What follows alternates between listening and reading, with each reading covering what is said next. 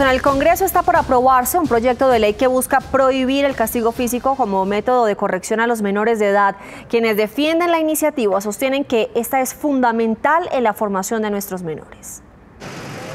No hay nada que no cure una buena palmada en el justo momento para educar a los hijos. Esa fue una frase que durante muchos años hizo carrera en Colombia, pero eso está a punto de cambiar.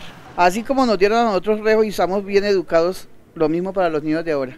Toca a veces un castiguito, aunque sea una palmadita o algo, o unas dos, unas dos correazos como nos criaron.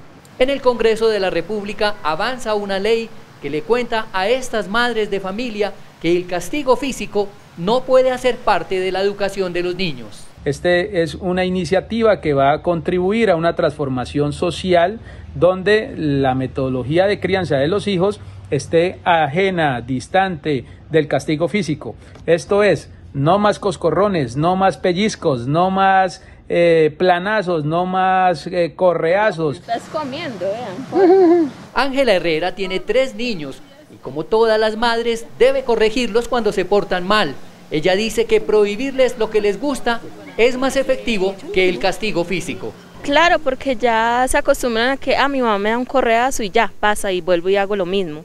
Mientras que yo le prohíbo lo que a ellos más les gusta y les va a ausentar más la ausencia de no hacer lo que ellos quieren hacer. Es decir, que en el caso de la corrección es más efectivo el diálogo y la negociación que la agresión. El cuerpo del conocimiento sobre los efectos dañinos del castigo físico contra niños, niñas y adolescentes es muy amplio.